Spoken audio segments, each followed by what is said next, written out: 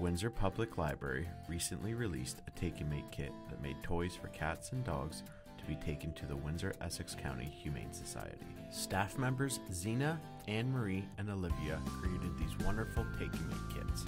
Here is Zena playing with a kitten while we dropped off shrimp toys for cats and ball toys for dogs to play with while they are waiting to be adopted. The Windsor Essex County Humane Society is located at 1375 Provincial Road, walk-in adoption hours are every Wednesday and Saturday from 1:30 to 6 p.m. There are many ways that you can help out these animals if adopting a new pet doesn't work for you, like volunteering, donating, and fostering. There are some options for donating money, or you can donate items. There is a monthly donation you can sign up to do, or you can put the Humane Society in your will and leave a legacy donation.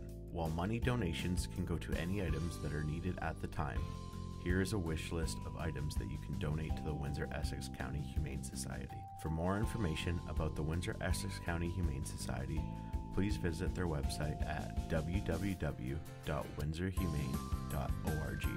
Windsor Public Library would like to thank all the people that took the time to help toys.